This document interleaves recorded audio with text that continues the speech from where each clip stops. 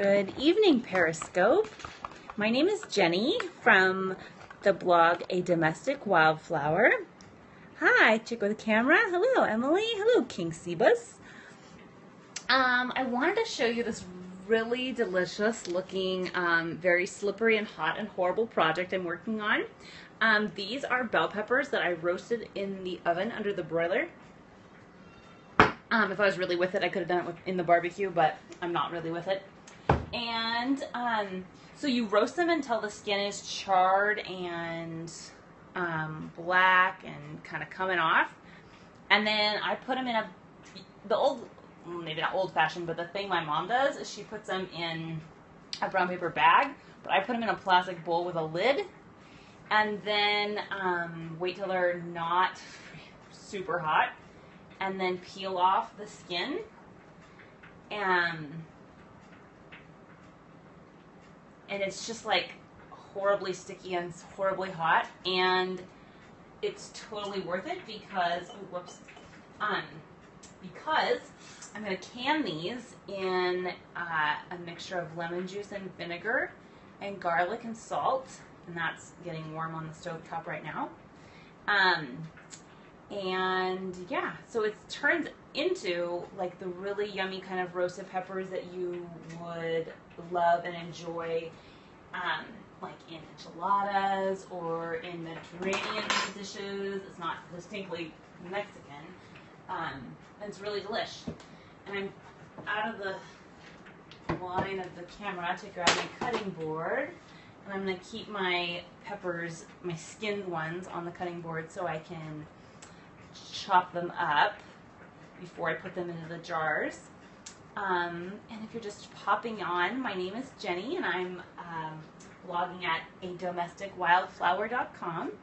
And I'm peeling slippery, scorching hot skin off of the roasted bell peppers. I'm going to can here in a little bit. Um, and I was hoping if any of you had any canning questions or any questions about um, what I will be canning this season, I would love to answer some. I don't know everything, but I um, usually know where to send people to find the answer. Um,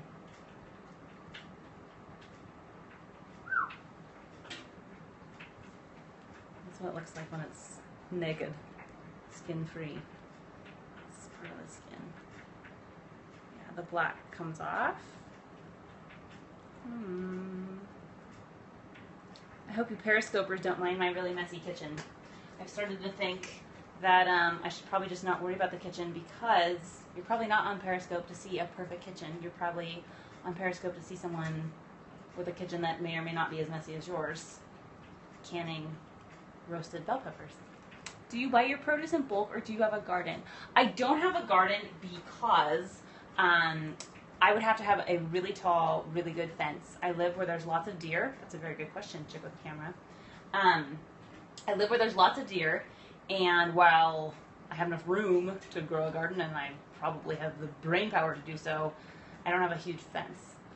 Um, I get my produce from a family friend who does have a big fence, and she lives right down the road. And she grows a huge garden to sell at farmers markets in my little area of very northern California. And how sweet is this? After farmers market, she stops by my house with what I have ordered and drops it off at my house. Yes, Lucky. Drops it off for me. And, you know, usually throws in some sunflowers for my little girl. And it's just, it's magic. It is magic. Um, I've read about people like joining these things called like bountiful baskets and various produce co-ops, and I bet that is equally awesome. And if I didn't have um, this family friend who happens to live one ridge away, um, I would have to probably look into that. That is a good question. But you're right, I'm totally lucky. Um, they are so. Ex- oh, the bountiful basket things. I've kind of wondered. I've wondered.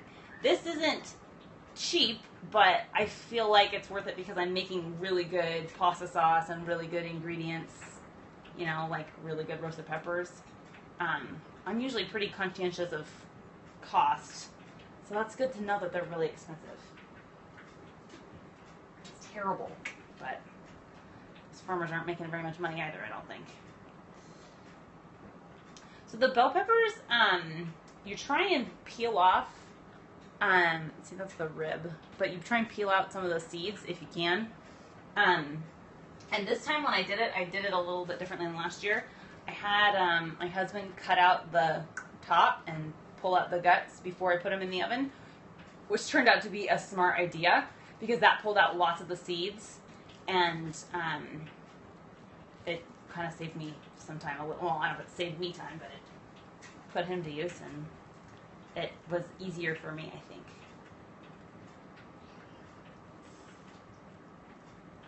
I bought a pressure canner this uh, last couple weeks, uh, periscopers, and I have um, big plans of canning buck meat here pretty quick.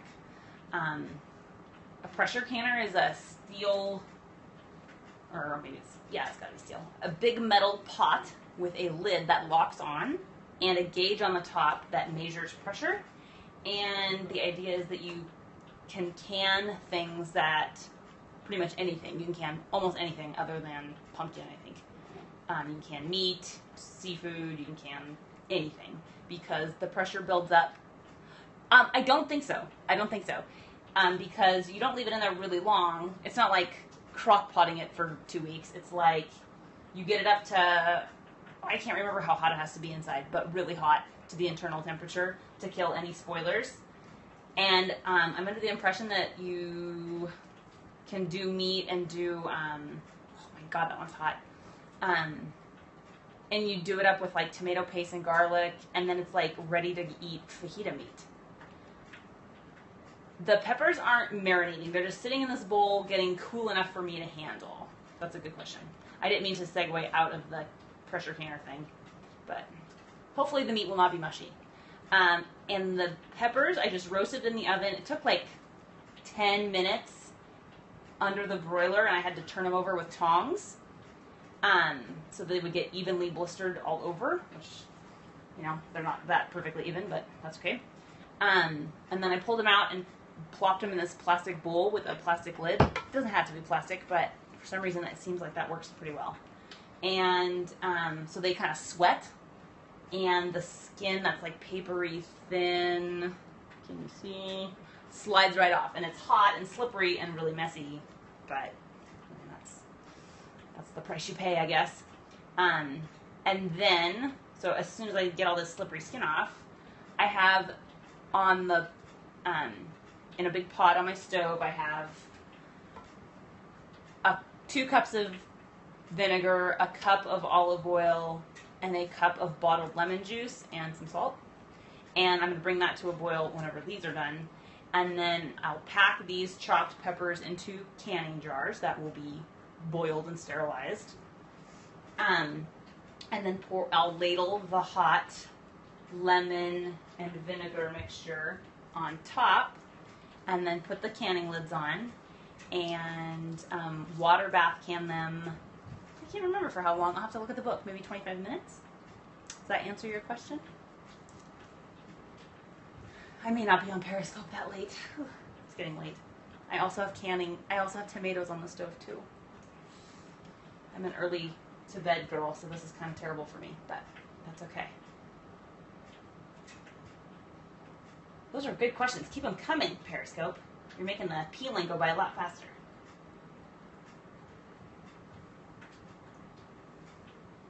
Yeah, so they're not really marinating. They're just going to be canned in a mixture of oil and lemon and vinegar. And that's what they live in until you open the jar and put them in your enchiladas. Or put them in lots of things. The canning book that I use, that I recommend to everybody to buy, not because I am affiliated with uh, this book at all, but just because it's a very good canning book, is Canning for a New Generation. You have a lot of energy. Huh. No, I don't. I didn't see whose name that was, but uh, I don't. Well, I guess I do. Maybe have some energy, but I have a lot of enthusiasm, so I guess energy just has to follow. Um, but I really love the canning book, Canning for a New Generation by Liana Krissoff, and I may or may not have said her name was Larissa Krissoff because Krissoff and S, and I think I've taught a Larissa. and today, hopefully you will laugh at me and not think I'm a total idiot, Periscope. Um, I had to, I sent her a message uh, regarding one of her recipes on Facebook because I just happened upon her book page, which if I were you, I'd like her page if you were there. Um, and I, it doesn't have her first name anywhere. It just has the book title, and I titled the Facebook message Larissa. Yeah, and then hit send, and now, and then I had to write a, whoops, I'm sorry, I didn't write the correct name message, which is shameful, terrible. I'm an English teacher, I know better than that. I should have checked before I sent the message, but that's life, I guess. I can think of a couple people who might be watching this and be laughing at me, but oh well. So I'm getting close to being done. What are you canning tomorrow? I will be right over. Uh, tomorrow is Thursday, and that's back to school night. Thanks for offering, Emily. Um, tomorrow's back to school night, and this weekend is a conference in Chico for um, Google Apps. That's right, school, teaching, my real job, teaching. So I, that that is why the sense of urgency. I have to can all this stuff because I won't have time tomorrow, and I have to leave for the weekend. So that's that's why I'm literally and figuratively burning the midnight oil. So I'm getting close to not all the way done, but I'm getting close to having all this peeled off. But you can see how this is a really terrible chore. Uh, pretty terrible. And it's really hot in here in this tiny kitchen. That's okay. This will be totally worth it. It's a very good recipe. If you could stand the sliminess and the heat, I'd recommend it. It's really a good recipe. So if you have just popped on, um, my name is Jenny and I blog at a domesticwildflower.com and you're watching me peel the seeds off of um, roasted red and green bell peppers and um, I'm going to can them in a water bath can canning process, hopefully very soon, um, with lemon, olive oil, and vinegar. Do you put the recipes on your blog? Um, so the recipes that I I haven't developed, quote unquote, developed any of the recipes that I've I haven't developed a recipe all of my own, just of my own imagination. I follow trusted and tried and true recipes, and then I might riff on that and share that on my blog. And that's what I intend to do with my tomato sauce and the um, the bell peppers. Those are not my recipes of my invention. They were they belong to Liana Kristoff, um, and that is why I sent her an ill-addressed message today. Um, and I would presume she would give her blessing, and then those recipes will indeed be on my blog, a domesticwildflower.com, under the canning section. Good. Glad, glad you got it. Um, you could also, if this is uh, something that lights your fire, the canning blog that I love, um, that really got me enthused about canning, is foodinjars.com. And that writer's name is Marisa McClellan, another possible reason why I fouled up Liana's name. But Marisa McClellan writes a very good blog. Her blog's not like fancy, there's not a lot of bells and whistles, but she writes solid recipes with good, uh, good clear directions. I have her book, one of her books. And I also like her stuff because her batches are not gigantic. She she cans like four pounds of something, not 25 pounds of something. So if you don't have an army of, you know, 25 people to feed, or you have a small kitchen, or not a lot of time, all of those things apply to me, then her recipes are a good fit. So foodinjars.com is a good one. I really like. Excellent questions. Chick with a camera, or girl with camera. Um, what else can I share with my patient viewers? Okay, we're almost done. We really have only three left.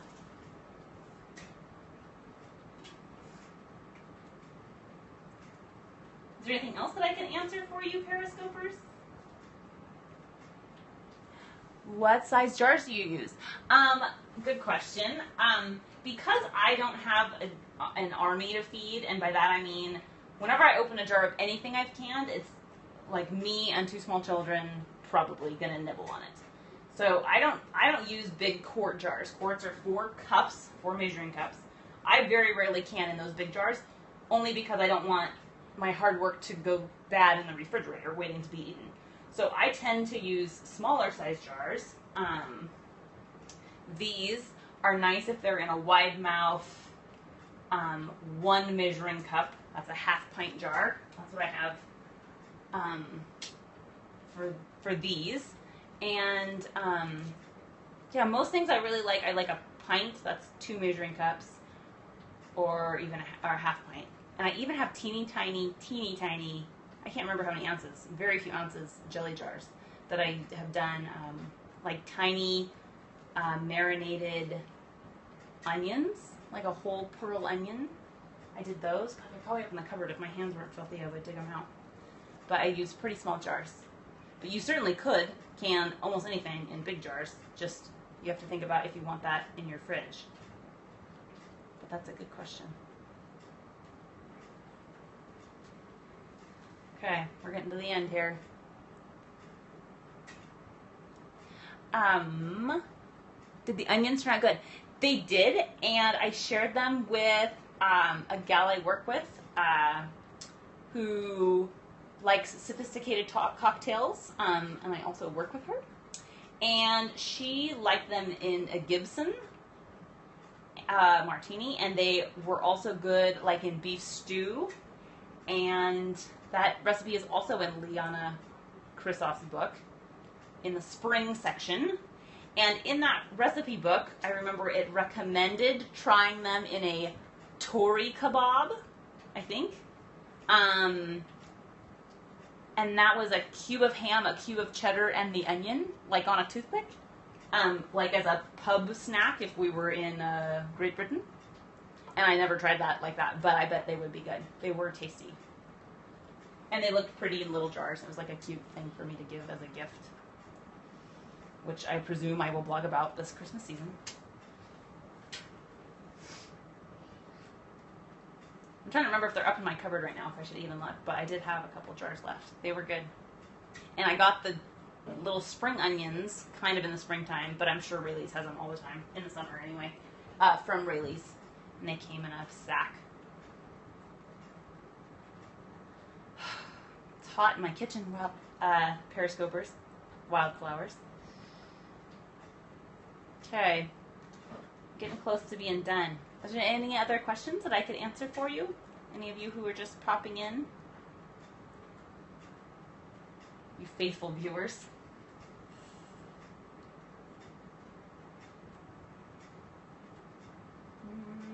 Okay. Sometimes the skin is not sufficiently scorched to peel off, and I have worried about if that was going to be really a problem when I go to eat them and it's not. I'm not a picky person, but I still don't think it would be like a deal breaker. Like, ooh, this is a bad bell pepper. No, it was just, you know, sometimes you can't quite get all the skin off. Like this one still looks pretty uh, not scorched. God, that light is terrible. I need to get new light bulbs or something in my kitchen. Okay, last one. Ooh, and see, this one is really scorched. Like, ooh. Really, really. Okay peeling this off. But I thank you, uh, Periscopers, for following along.